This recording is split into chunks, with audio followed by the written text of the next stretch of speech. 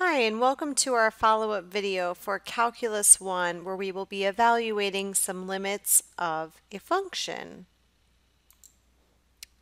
So in looking at our notes, although this is not a textbook definition of a limit, this sort of will describe for you what a limit um, will represent. So we say as a graph, for example in this case, gets closer and closer to a particular value, but it may not actually equal that number it will be approaching that value. Now, sometimes it may equal, that will depend on our continuity and things like that, which we'll talk about throughout the course. Um, so let's take a look at this graphically. So number one says find the limits given the graph of f of x. So here's our graph of our function. This is a piecewise function. And I'm going to start with question number B here, or question B, which says limit that's what LIM stands for, right? Limit.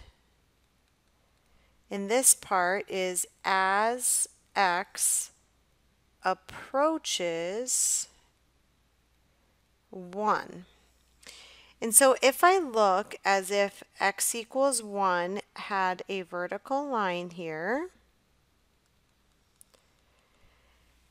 what I want to do is I want to approach 1 from numbers that are less than 1, so coming in from this left-hand side of x equals 1, as well as I want to come in from the right-hand side of x approaching 1.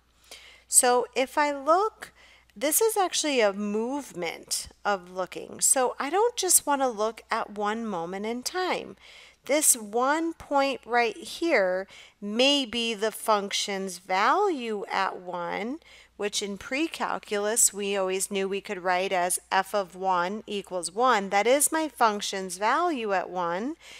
And in order to truly be a function, if that was a closed point at 1, 1, then this point up here at 1, comma, I will call that 3.8 maybe, or 3.7, that whole right, has to be a hole and cannot be a closed point because then our vertical line test would fail and this graph would not be the graph of a function. So as I look through this here, I'm looking as x approaches 1 both from the left side, so coming in this way, and from the right hand side, so coming in that way. So I'm looking in a direction here. And as I approach from the left, I'm approaching that y value of 3.8. And as I approach from the right, getting closer and closer to x approaching 1, the function value is also approaching 3.8. So I could say the limit as x approaches 1 of the function is 3.8. I also don't have to identify that whether it was a hole or a point because again a limit is a, a function value that you are approaching. You may or may not equal that number. So to further make sure that we don't um, ever put down this point right here, I'm actually going to name it here. This is actually just a distractor point for limits. I should not be putting down any limit that has 1 as an answer as x approaches 1 or really any other number because this is just a point that is defined at one moment in time.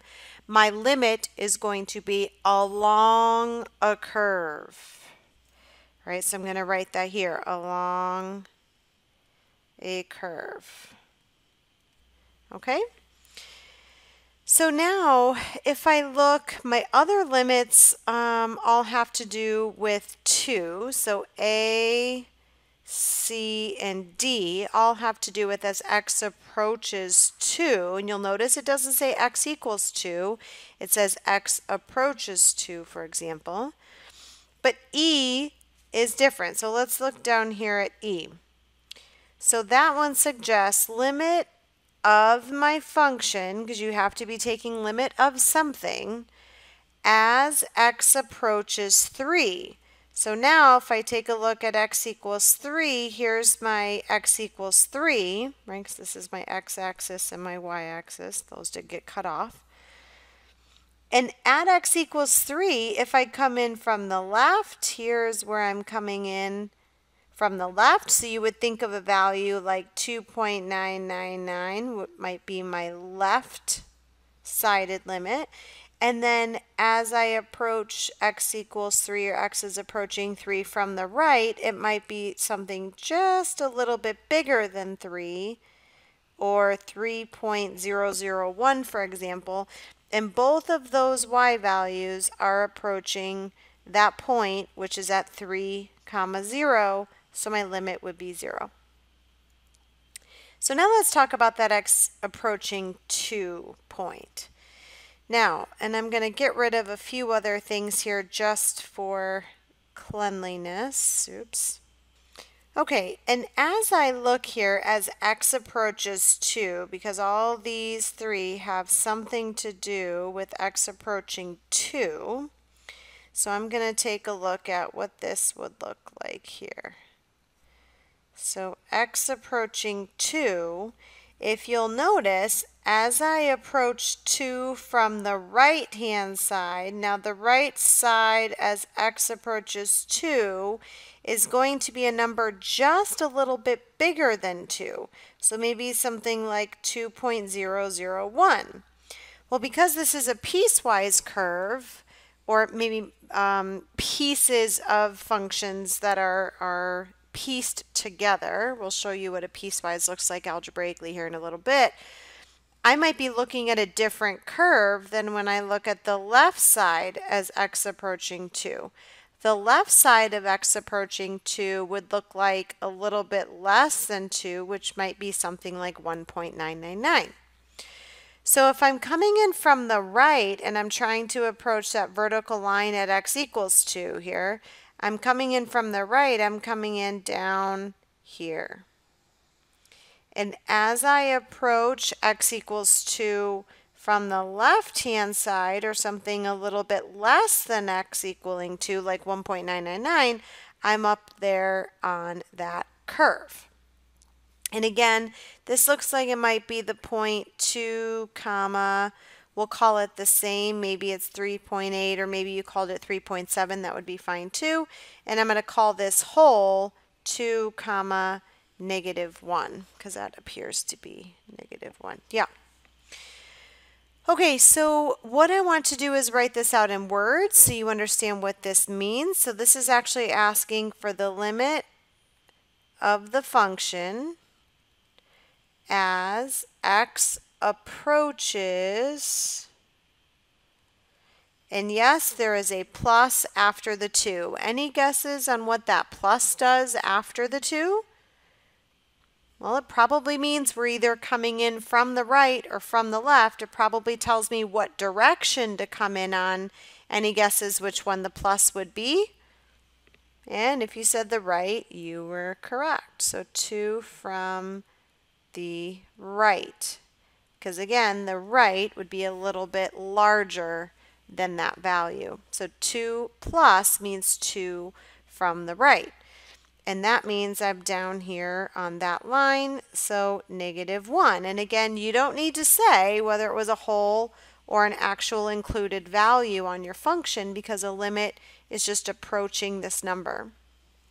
So now 2 from the left, well, as x is approaching 2 from the left, that puts me up here approaching 3.8. And so now what I have is as x approaches 2 from the right, my limit is negative 1. And as x approaches 2 from the left, that limit would be 3.8. So what would my limit be if I just said limit as x approaches 2? And what if I didn't put a side to it? Well, the first couple that we did, we talked about, for example, as x approaches 1, coming in from both sides. And so I need to think about that same principle or same thought here. I need to come in from both sides. So if I come in from the right, or the 2 plus as it looks like, and I get negative 1, and I come in from the left, and I get a y value of 3.8, and those aren't the same, my limits are not the same, therefore I would say DNE, does not exist. What's also important to note is that we're going to have to state a reason why. And in this case, I would write it out in limit notation. My limit notation is already here for me to reference as well. I would say the limit of my function as x approaches 2 from the left does not equal the limit of my function as x approaches 2 from the right. The one thing I would not want to say is negative 1 does not equal 3.8 because again that doesn't necessarily say what you mean. Although that's true, negative 1 does not equal 3.8. What do you actually mean by that? Well, the negative 1 was the limit as x approaches 2 from the right, and the 3.8 was the limit as x approaches 2 from the left of my function. So that's actually what you're saying, is that it does not exist because those one-sided limits. So here's one side, here's one side, right from the left, from the right. So my one-sided limits are not equivalent. Now, even if your homework or classwork or whatever does not ask you to identify the reason why something does not exist, most of your quizzes and tests might ask you something like that, and you will probably have to write it out. So please be prepared to answer those types of questions as you go through all of the DNEs. Why does the limit not exist? Okay, let's move on. Okay, we're going to look at this second one here, which will be um, another graph, but it's going to be going backwards. We're going to give you the limits and ask you to draw a graph of just an example of what this function might look like. Because again, if I ask you to draw the graph, you might draw something curved, I might draw something straight. But as long as it is a function, right, then we're going to still satisfy these limits and be fine. So the one thing I'm going to start with is the pre-calculus ideas here. These are function values. f of 1 equals 1 means that if I look over here at my Cartesian plane and I identify my axes, they're on there. They're just part of the axes. So I don't know if you could see that. The x was right there and the y was overlapping with the line. But um, I'm going to go ahead and plot these points so I can keep them on here. f of 1 equals 1 means if x is 1, y is 1. So here's a point 1 comma 1. That does not necessarily have to be a long, a curve. That just has to be one moment in time, that function's value. So I would do the same thing for f of 4 equals negative 1. If x equals 4, my y value is negative 1. And again, that is just a point it does not necessarily have to connect to any other part of my curve. Now, if I have another x value at 1, I'm going to have to make sure that I put a hole there just so I don't overlap anything because I want to keep this a function. So I'm going to start with um, this limit as x approaches 1 of my function should be 3. Well, if x is approaching 1, this has to be two-sided because it does not identify which one side it is coming from. So I need to assume both. So I'm going to say 1 is my input, right, for x. 3 would be my output. So at 1, 3, and oops, I've got to be careful. I want to make sure I put a hole here and not a closed point because, again, um, it cannot equal. And maybe that's not a good um, hole, but get close enough, right? 1, 3. Now, I need to have a curve that will approach 1, 3.